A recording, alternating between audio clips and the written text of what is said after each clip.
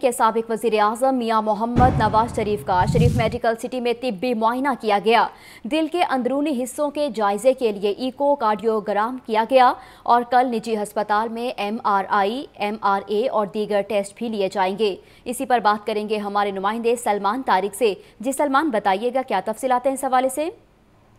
جی سابق وزیر اعظم نواز شریف کی آج شریف میڈیکل سٹی میں جو تیسری دفعہ میڈیکل چیک اپ ان کا ہوا، تو مالجین کے مطابق جو انہوں نے طبی معائنہ کیا، اس کے بعد معلوم ہوا کہ وہاں پہ جو ان کا جو ایکو کارڈیوگرام کیا گیا، اس کے بعد مالجین نے بتایا کہ خون کے بہاؤ میں رکاوٹ جو نواز شریف کے جسم میں پائی جا رہی ہے، جس سے گردن و دماغ کو خون کی پوری مقدار میں فراہمی نہیں ہوتی مالجین کے مطابق مریض کی گردن کے بنائے حصوں اور دماغ کو خون کی فراہمی متاثر ہونا خطرناک ہو سکتا ہے اور طبی لحاظ سے یہ مرض کو سنگین ہارٹ اٹیک ہونے کی علامت بھی تصور ہوتی ہے۔ اسی سلسلے میں والدین کے خطرے کے پیش نظر نواز شریف کا دل اور گردوں کا ایم آر آئی کرانے کا فیصلہ ہے۔ خون کے بہاؤ تشخیص کے لیے ڈاکٹر اسٹڈی بھی کرائی جائے گی، جس کے لیے کل نواز شریف کو نجی لاہور کے نجی اسپتال میں ایم آر آئی اور ایم آر اے اور بعض دیگر ٹیسٹ کے لیے جو ہے وہ لے جایا جائے گا۔